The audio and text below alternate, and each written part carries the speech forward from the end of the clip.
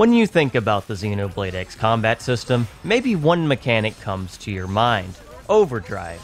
Overdrive is the central and arguably most important combat feature in Xenoblade Chronicles X, and understanding how to use it will drastically increase both combat success and how much fun the game is.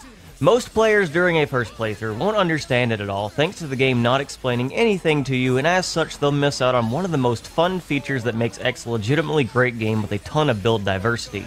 In this video, I want to explain everything about Overdrive to you, so you can set up your own Overdrive builds to take advantage of the mechanic.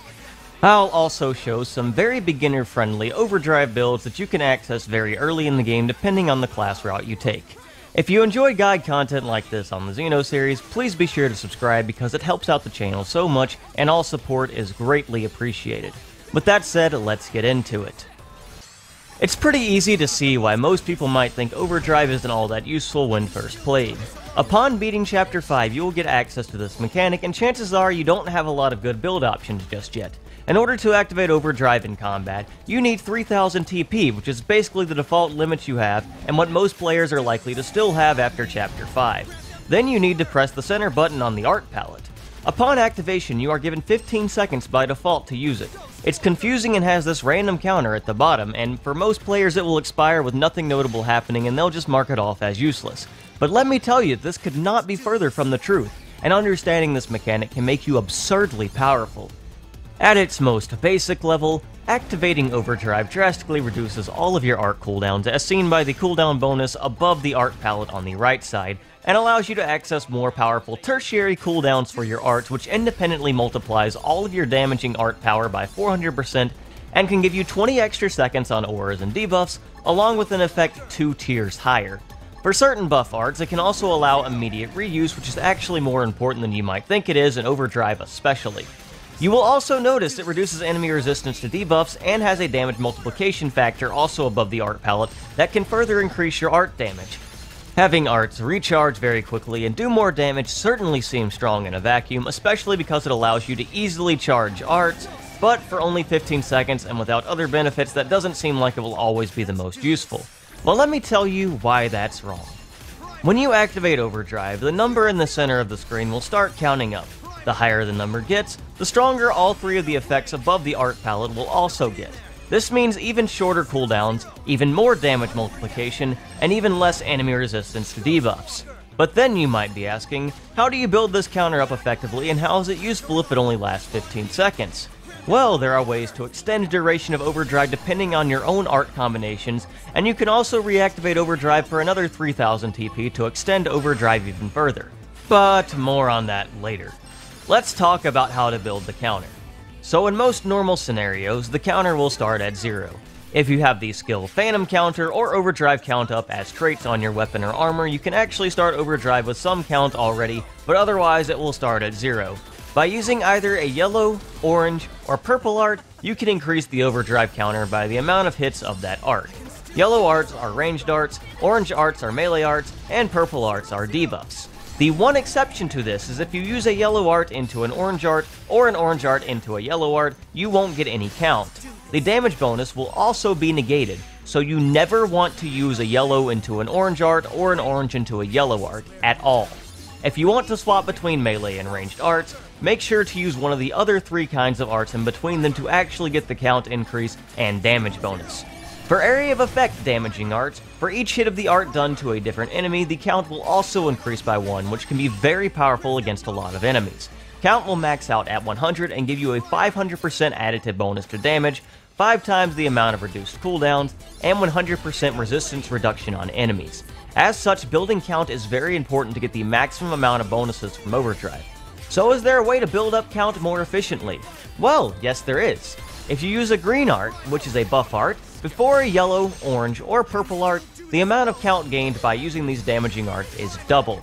So each hit will increase the count by 2 instead of just 1. When building count, using green arts before damaging arts is very beneficial to increasing your count faster. So again, how does any of this help if Overdrive only naturally lasts 15 seconds? Well, fortunately, you can extend duration while in the middle of overdrive, and continuously extending your overdrive duration is typically called infinite overdrive, and it's something everyone who plays this game should learn how to do.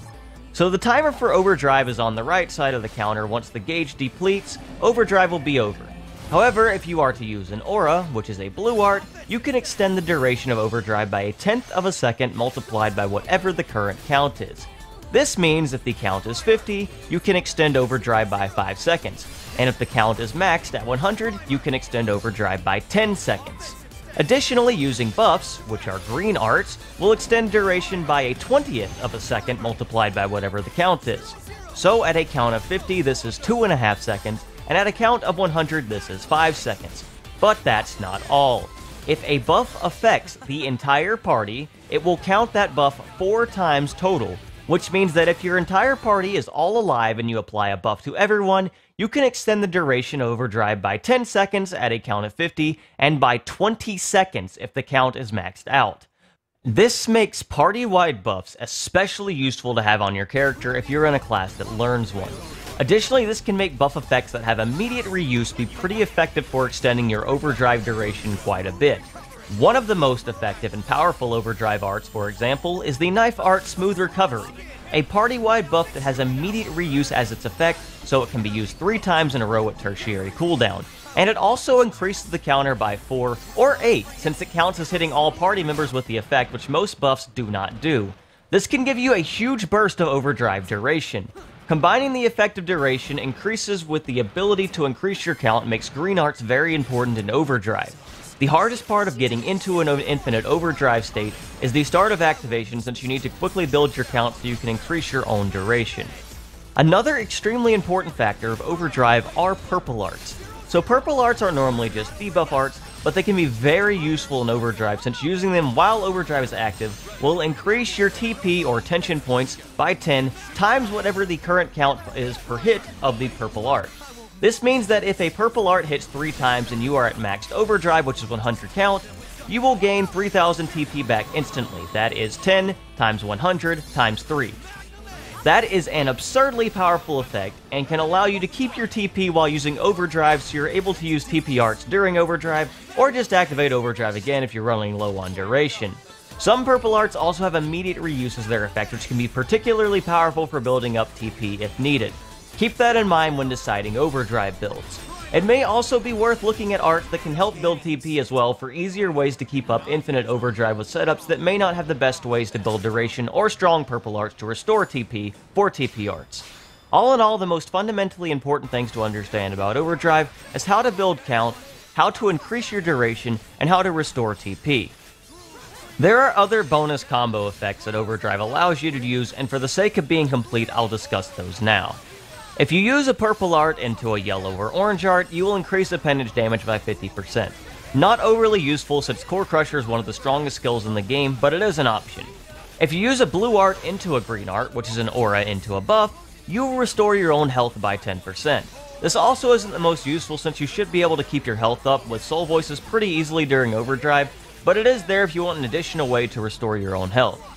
If you use a blue art into a purple art, you'll increase the debuff duration by 25%. Again, not the most useful since with Overdrive's cooldown bonuses, you can likely keep any debuff applied easily, but it is an option. Continuously using orange arts back to back will increase your experience gain from the battle, and continuously using ranged arts back to back will increase your class experience gain. This will increase 10% for each back to back and stack at 200%.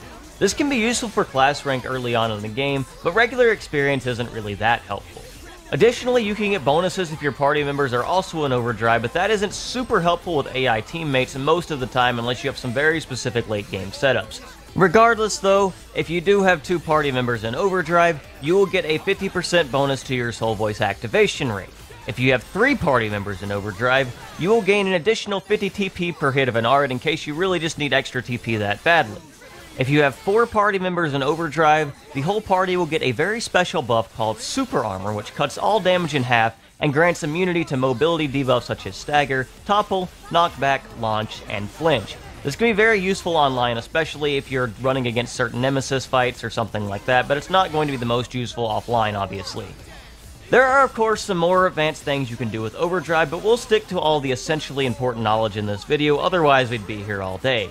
So that should cover all the effects of Overdrive and what to do during it to keep Overdrive up efficiently to take advantage of it. So let's discuss some build options that are very beginner friendly, as well as some things you can craft or do to make your life much easier with Overdrive. The route I always like to go when playing the game is Mastermind. Mastermind gets access to some really good skills and a really great way to keep infinite overdrive. To show off this build, I'm going to use some pretty basic equipment here. Just some level 30 weapons with my only augments as appendage crushers which you can craft for 124 tickets. 124 tickets if you're playing online is really easy to get, so if you want to have some appendage crushers for some extra damage, that's really easy to do. I have max TP up on this build, but I'm going to remove it just so I have only 3000 TP just to show you the effectiveness of this build regardless. And I have no other augments besides that, just some shop gear. Going through the art list, you can get all of these pretty easily through using these weapons. Full specs is probably going to be your best aura option. I would definitely recommend that for the TP boost. Smooth recovery is the crux of this build because it allows you to keep overdrive duration up a lot, and it also gives you count. Make sure you are running this build. I think you need to do Irina's Affinity mission to get this art. Make sure you get this art. It's super important. Gravity Cloak is an AoE buff art. It helps keep up your duration if you need, don't have smooth recovery up. Absorber Skin is a throwaway green art that's just going to allow us to use yellow arts and orange arts for, for count and duration. Black Butterfly is my main damaging art for melee attacks just because it does a lot of damage. It's guaranteed to be Ether. And it also lowers enemy Ether defense. The reason it's Ether is important, actually. I also have Ether Blast as my main, main damage art. It's the TP art of this build. Beam Barrage is my count builder, and Myopic Screen is our purple art to give us our TP back if we need it. This is pretty much the setup I'd recommend you run. Maybe you could replace Absorber Skin with something else, but otherwise run the other seven arts. The skills I have are Inner Search just to increase my TP further, Core Crusher which is an amazing skill that's going to boost all of our ether damage by quite a lot if we're targeting appendages, Secondary Accelerator to give us access to our cooldowns a little bit more using arts which is very helpful for this build, and High Tension as you see can boost TP even further, but just for the sake of showing off the build with only 3000 TP and that you don't need it I'm going to remove it. But of course it will make it easier if you do run it. And like I said, you can get all of this just going the Enforcer into Mastermind build class here. You don't need access to anything else. You get everything that I just showed off through that class, and if you start the game with that class and get past Chapter 5, you should have access to pretty much anything you need for this build. And this should allow you to pretty much take down pretty much any enemy you want in the game, and as long as you use Myopic Screen towards the end of the fight, you should get most of your TP back even if you don't have extra TP to use. So you'll be able to overdrive for the next fight. Typically what you want to do is start off overdrive, use Absorber Skin, and then use Beam Barrage to just build up your count to a quick 10. And then you want to try to build up your count just a little bit further. I get interrupted by a stagger there, I believe, so I start using Smooth Recovery to increase my duration and my count. I use it three times in a row. Gets us up to 30 count, then you can use Beam Barrage again here to increase the count even further. We use another green art, of course, and then we use Myopic Screen, which is going to give us a lot of TP back. You see we almost have all the TP back that we need. We use Gravity Cloak again into another green art, and then I try using Smooth Recovery to try to increase my duration. Unfortunately, two of my allies die here. That's not really a big deal. I still get 4 count per use, and I get a lot of duration because H.B. is still alive. I use Myopic Screen again into my blue art, so I get even more duration. And we also have almost max TP again. I just gotta use Myopic Screen one more time before I use my main damage art here. Black Butterfly is a 4-hit art. It gives us 8 count. And after all that's done, we can just Ether Blast for the kill because it has a very high scaling multiplier on it, and we also have Core Crusher, which is going to make the Ether damage do even more. As you saw right there, I could have kept Overdrive up forever with that build, and that makes the Mastermind route one of the absolute best routes you can go early on in the game. Another really easy Overdrive build you can go is the Full Metal Jaguar route. Honestly, you don't even need your cross to do this. You could also just do this setup with Elma, and you always get her no matter what. So if you want to go a different route from Full Metal Jaguar or Mastermind, which I think are the easiest routes to keep up an infinite overdrive build, then you can also run Elma until it gets a bit easier for the other routes you could take. These are just the basic ones. You saw my ground guild gear there. I'm not using anything special here. No special augments or anything like that. Just appendage crushers at most. Shadow Runner is going to be uh, the main aura art we've got here. Blood Sacrifice is a great art for giving ourselves extra TP over the course of this battle. Full Metal Jaguar has great ways to keep up overdrive and keep TP. It's very, very beginner friendly for this, even more beginner friendly than Mastermind. Ghostwalker is an incredible art that allows you to take on enemies much, much higher level than you as long as you can keep it up because it gives you guaranteed evasion against attacks.